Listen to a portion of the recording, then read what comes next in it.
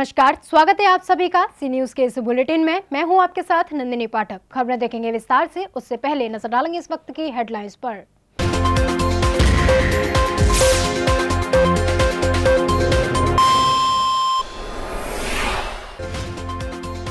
थाना एतमौदाला पुलिस ने तीन चोरों को पकड़ा। छात्रों से पूछताछ करने के बाद चोरी का माल किया गया बरामद। पुलिस पूछताछ में चोरों ने कई घटनाओं का किया इकबाल।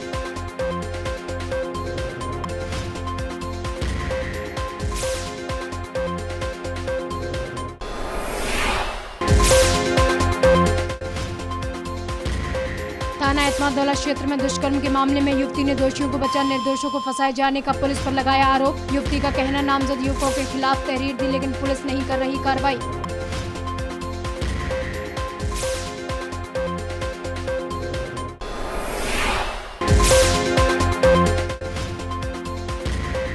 थाना शमशाबाद पुलिस ने घर में घुसकर महिलाओं के साथ किया भद्रता। पति पत्नी के बीच हुए मामूली विवाद के चलते पुलिस ने रात को दी घर में दबिश।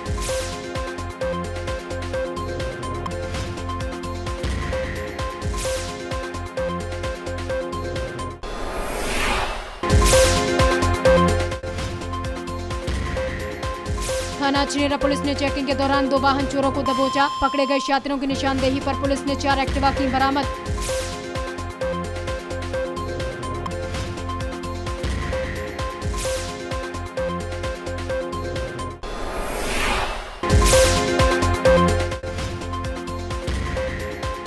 और एसएन अस्पताल से दर्जन भर से अधिक फार्मासिस्टों का ट्रांसफ़र होने से मरीजों को करना पड़ रहा है। परेशानियों का सामना। ओपीडी में पहुँचे मरीजों को पर्चा बनवाने से लेकर दवा लेने तक हुई परेशानियाँ।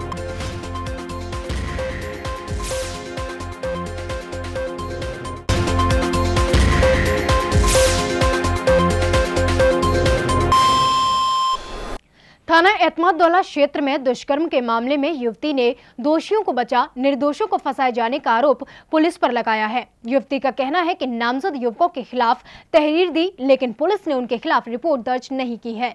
थाना एतमादौला क्षेत्र में युवती के साथ दो युवकों ने दुष्कर्म किया, लेकिन पुलिस ने तहरीर के आधार पर मुकदमा दर्ज न कर दूसरे लड़कों को नामजद किया है। थाना सिकंदर क्षेत्र की रहने वाली युवती को डरा धमकाकर दो युवकों ने उसके साथ दुराचार किया। विरोध करने पर तरह तरह की धमकियाँ दी गई। युवती का आरोप है कि दो नामजद युवक गाड़ी में उसको डालकर ले गए और उसकी इज़्ज़त के साथ खिलवाड़ किया। इस मामले में युवती ने नामजद तहरीर दी, लेकिन पुलिस ने दोषियों को बचा। दूसरे युवकों के खिलाफ मुकदमा दर्ज कर लिया है। युवती ने थाने में इसका विरोध किया, लेकिन पुलिस कुछ भी सुनने को तैयार नहीं है। थाने में सुनवाई न होने पर युवती परिजनों के साथ कलेक्ट्रेट एसएसपी से शिकायत करने पहुँची। युवती का कहना है कि दुष्कर्म का विरोध करने पर युवकों ने उसे जान से मारने की धमकी दी और बदनाम करने की भी धमकी दी गई। युवती का कहना है कि थाने की पुलिस दोषियों को गिरफ़्तार करने के बजाय निर्दोषों को परेशान कर रही है।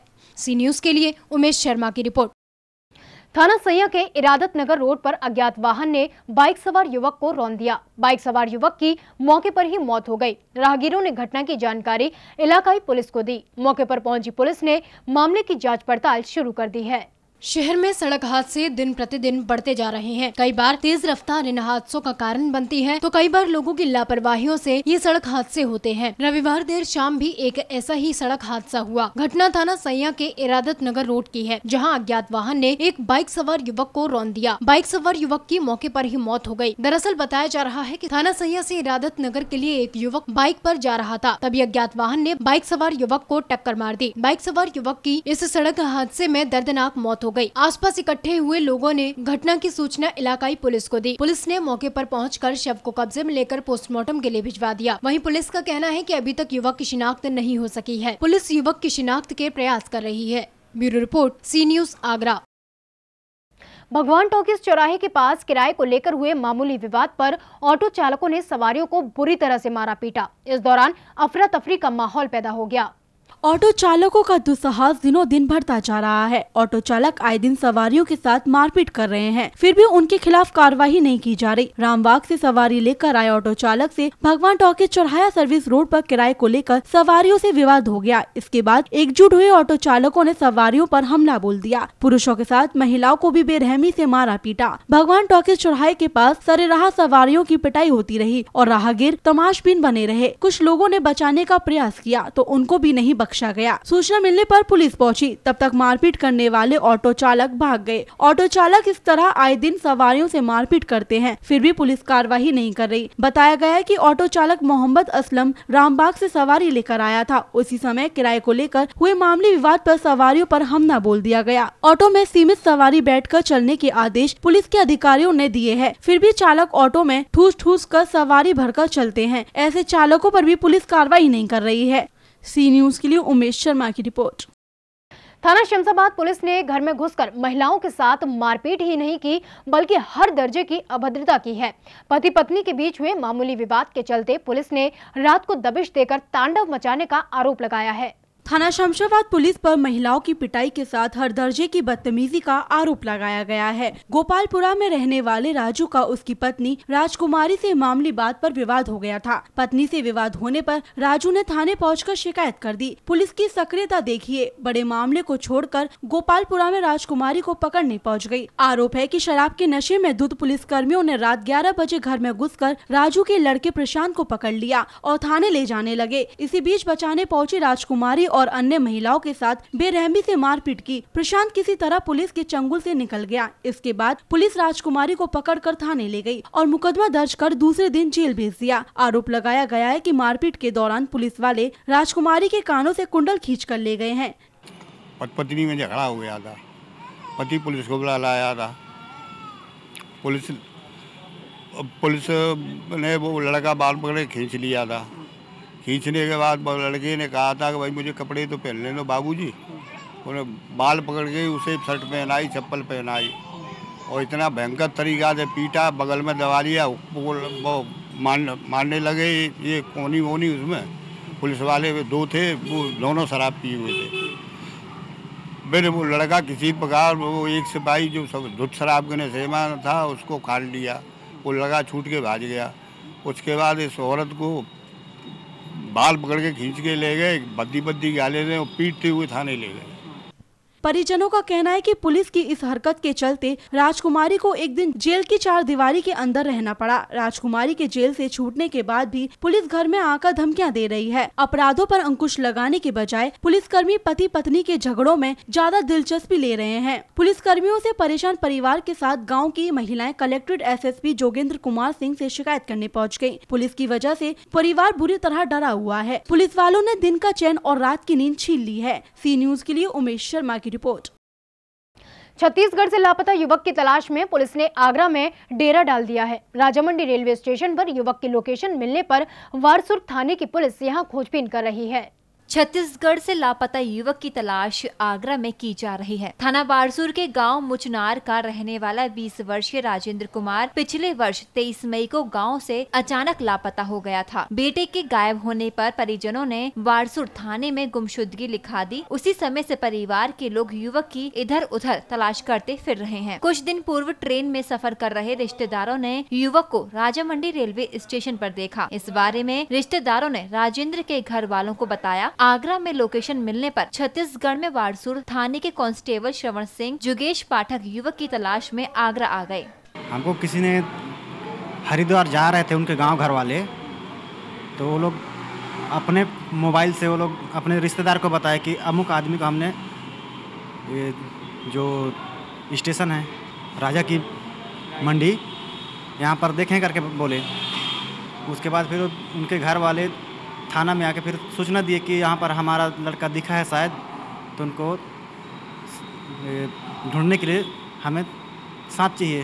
तो उन्हीं, उसी के तलाश में हम लोग आए हैं। बारसूर थाने से आए पुलिस कर्मी श्रवण सिंह, जुगेश पाठक हरिपर्वत थाने पहुँचे और युवक की location Raja Mandi railway station के आसपास होना बताया। पुलिस कर्मियों का कहना है कि हरिपर्वत थाने की पुलिस के साथ राजेंद्र कुमार की तलाश की जा रही है। रेलवे स्टेशन, बस स्टैंडों के साथ भीड़ भाड़ वाले बाज़ार में युवक को तलाशा जा रहा है। छत्तीसगढ़ ऐसी आई पुलिस युवक की फ़ोटो के साथ अन्य कागजात भी लेकर आई है, जिससे युवक को पहचाना जा सके। राजेंद्र के लापता होने के बाद परिवार का बुरा हाल है। सी न्यूज़ के लिए उमेश शर्मा की रिपोर्ट। थाना छिनेरा पुलिस ने चेकिंग के दौरान दो वाहन चोरों को दबोच लिया, जबकि उनका एक साथी भागने में सफल रहा। पकड़े गए यात्रियों की निशानदेही पर पुलिस ने चार एक्टिवा बरामद की हैं।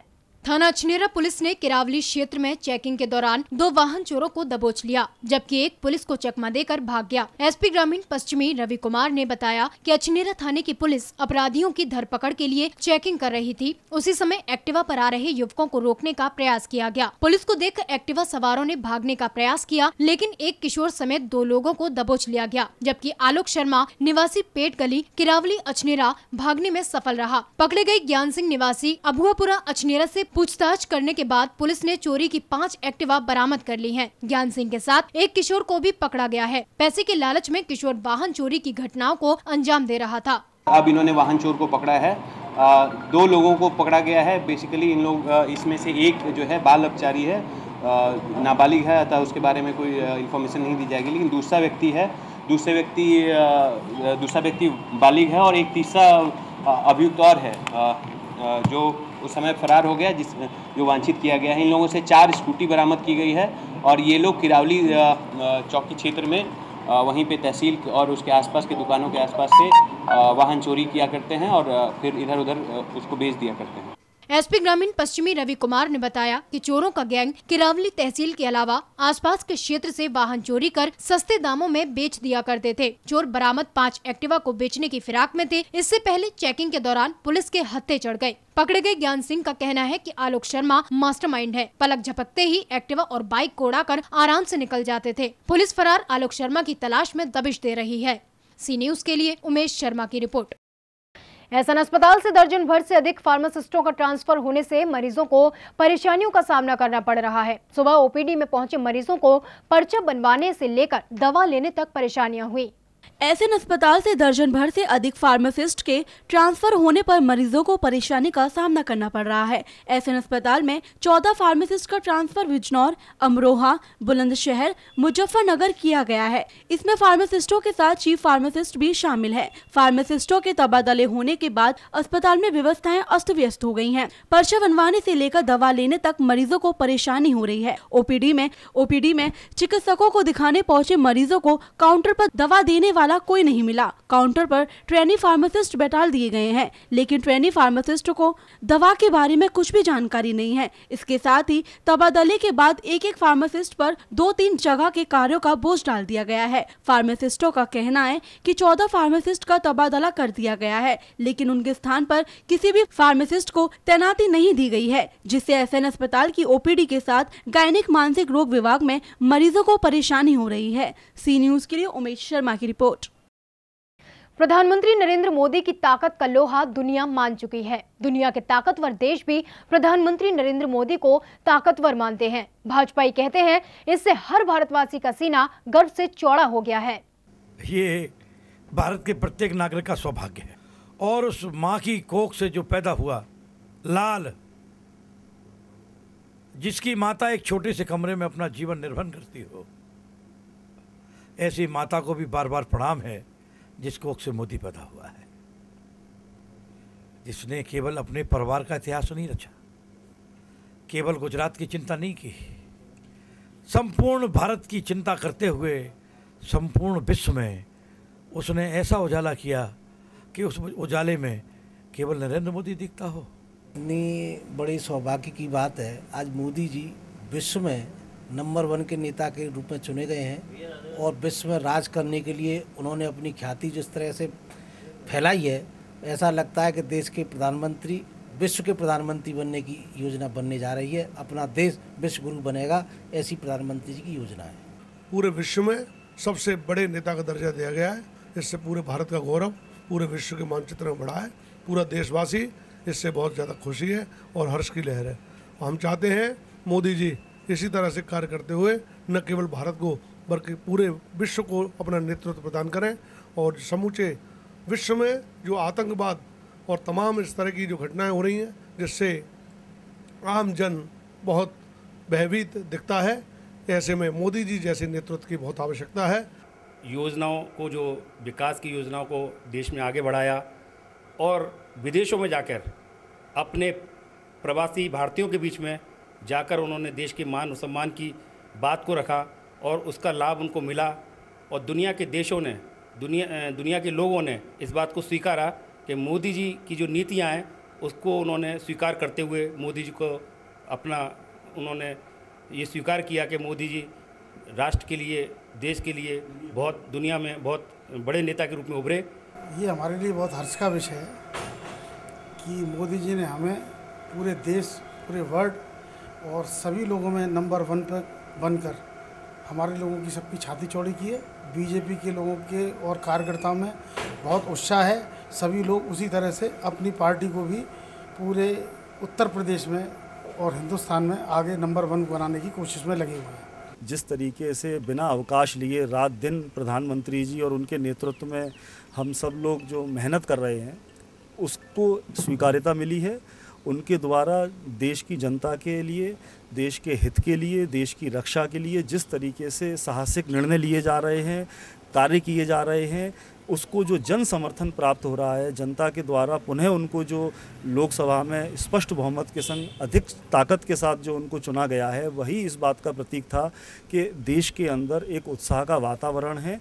सबका साथ, सबका विकास और अब जो उन्होंने एक नारा दिया कि सबका विश्वास ये तीनों जब मिश्रित मिलकर मिलकर हो गए, एक ऐसी नई ताकत बनी है जिसने नरेंद्र मोदी जी को एक ताकतवर नेता के रूप में उभारा है और निश्चित रूप से समस्त विश्व ने उनको एकमात्र नेता, शक्तिशाली और ताकतवर नेता मानने पर मजबूर हो गए हैं।